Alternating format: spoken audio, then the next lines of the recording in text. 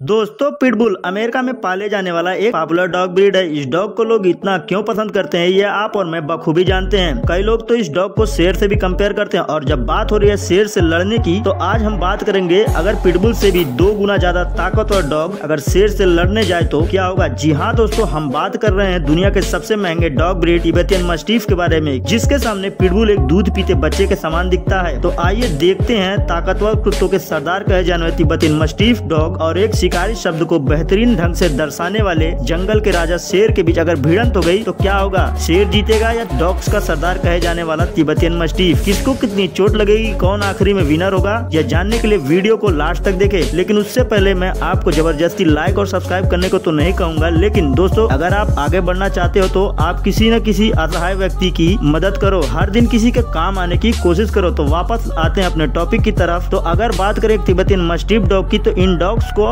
सदियों पहले तिब्बत में विकसित किया गया था। इन डॉग्स को वहाँ के किसान अपने पशुओं और घरों की रखवाली और पहरेदारी के लिए गार्ड डॉग्स के रूप में इस्तेमाल किया करते थे। तिब्बतियन मस्टिफ डॉग इतने फुर्तीले और ताकतवर होते हैं कि भालुओं से भी नहीं डरते हैं। भालुओं को तो ये डॉग काट कर दूर भगा देते हैं और बात करें एक शेर की तो ये बहुत ही आलसी होते हैं। सारा सारा दिन सोते रहते हैं, लेकिन जब बात आती है शिकार की तो इनसे चौकन्ना कोई नहीं। शेर हमेशा गुट में रहना पसंद करते हैं और झुंड का सबसे जवान और ताकतवर शेर पूरे झुंड का मुखिया होता है।